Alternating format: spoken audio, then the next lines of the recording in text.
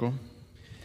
Marek, povedal si to, čo tu bolo povedané už niekoľkokrát, 2, 3, 4, 5 krát, stále sa to tu opakuje dokola. Naozaj ja si myslím to isté, čo ty, že takí ľudia ako Ondro Dostal, ktorí stoja teraz pri, pri Žigovi, ktorí stoja pri Pelegrini, Benčík, tak to, mňa to veľmi mrzí, ale to je ich, ich vec a sami si budú zodpovedať pred sebou veci, ktoré robia.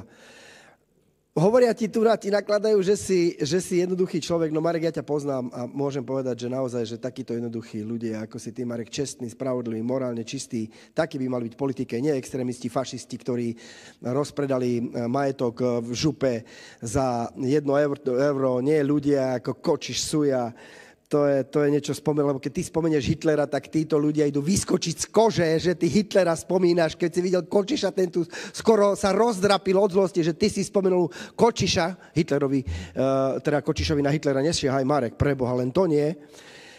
Marek, povedal si všetko tak, ako si to cítil. Ja ťa mám veľmi rád za to, že, že si človek úprimný a že to, čo na srdci, to na jazyku.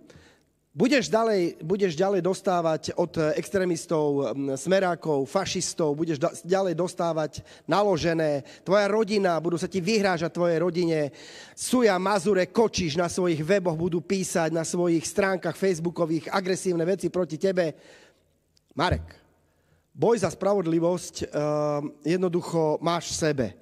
A nikto ti nepoďakuje za to dobro, ktoré si urobil. Nikto ti nepoďakuje za, to, za tú čestnosť, za tú spravodlivosť, ale budeš dostávať. Len, Marek, keby neboli takí ľudia, ako si ty, tak by tu zlo zvíťazilo. Pán poslanec Ďurica. Ďakujem za